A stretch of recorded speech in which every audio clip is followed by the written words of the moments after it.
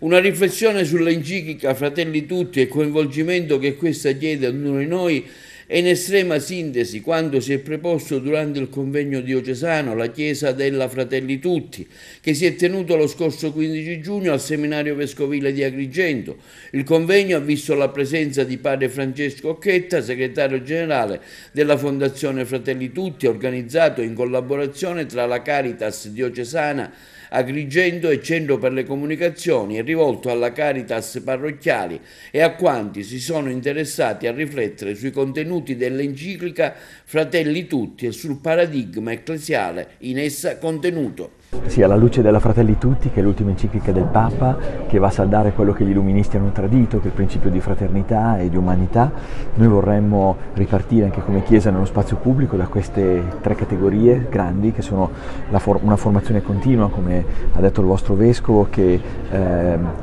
ci aiuti a um, entrare nelle sfide del mondo con competenze, poi eh, avere partecipazione, quindi essere inclusivi, ascoltare tutti e soprattutto ciascuno porti il proprio carisma nei processi e il terzo punto appunto è eh, ritrovarci nei, pro- nei, progetti concreti per, cor- per ricostruire e ricostruire il mondo che a partire dalle parole e dall'aiuto ai, ai più poveri eh, attraverso l'amore evangelico noi possiamo dare e da qui noi eh, rinasciamo e risorgiamo come Chiesa.